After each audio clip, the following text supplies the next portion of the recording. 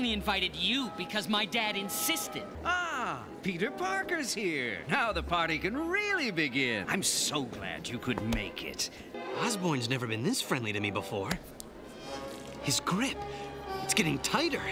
Was I squeezing too tightly? I forgot how delicate you are. Dinner is ready to be served. I hope you enjoy the stew. I understand you're seeing Mary Jane now, Peter.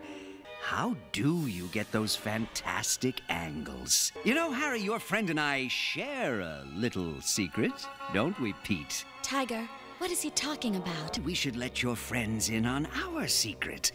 Over dessert, perhaps? Will you excuse me for a moment? Make sure it's only a moment, Pete.